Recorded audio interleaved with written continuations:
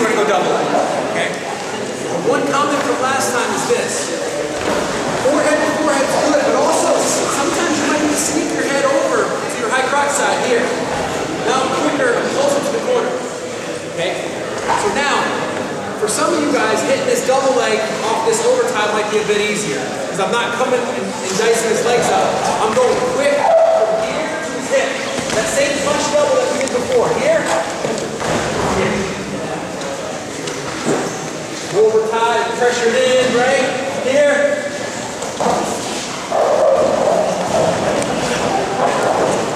Remember the pull here? We went single leg, right? High C, same thing, same footwork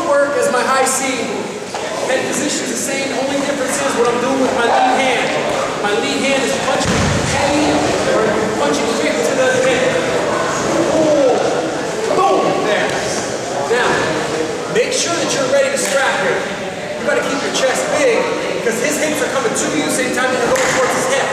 So it's not like a, a shot where he's stationary and I'm last double-legged, okay?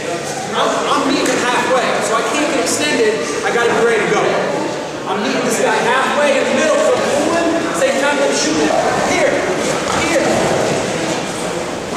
Alright? So I can't be over here, right? I can't be reaching for down by his cap. I want to keep my chest and my